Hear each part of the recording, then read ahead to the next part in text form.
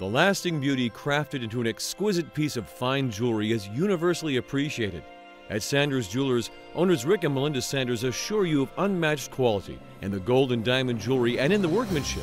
As North Florida's only JA certified master bench jeweler, Rick Sanders is sought after for his expertise.